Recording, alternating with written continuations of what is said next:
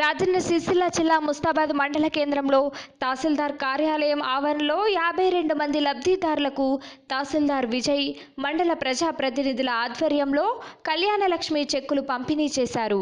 ఈ సందర్భంగా వారు మాట్లాడుతూ పేదింటి పెళ్ళిళ్ళకు కళ్యాణలక్ష్మి అండగా ఉంటుందని వారు తెలిపారు.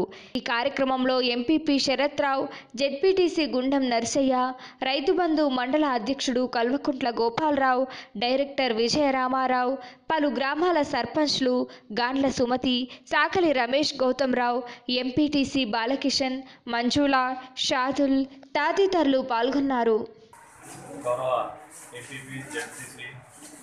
రైతు సమాజ సమితి అధ్యక్షుడు అదేవిధంగా టీఆర్ఎస్ పార్టీ ప్రజలకు మండల కౌన్సిల్ సభ్యులు మండలంలోని వివిధ గ్రామాల నుంచి వచ్చిన సర్పంచులు ఎంపీటీసీల సమక్షంలో కళ్యాణ లక్ష్మి చెక్కులను పంపిణీ చేయడం జరుగుతుంది.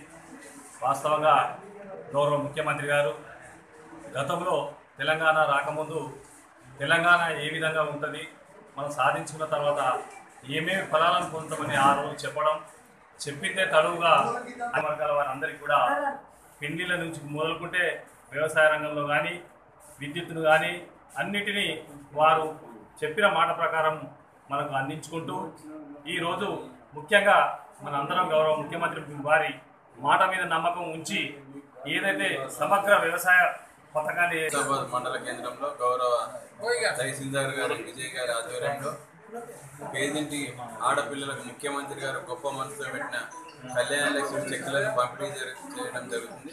ఈ కార్యక్రమంలో పెద్దలు జయపడిసి గుండం నరసన్న గారు అలాగే పెద్దలు రైతు సమన్వయ సమితి అధ్యక్షులు గోపాలరావు గారు సెస్ డైరెక్టర్ గారు విజయరామారావు గారు అలాగే పార్టీ అధ్యక్షులు సురేందర్ అన్న గారు. అందరి సమక్షంలో ఇవాళ కళ్యాణలక్ష్మి చెక్కులు ఆ లబ్ధిదారులకు ఇవ్వడం జరుగుతుంది.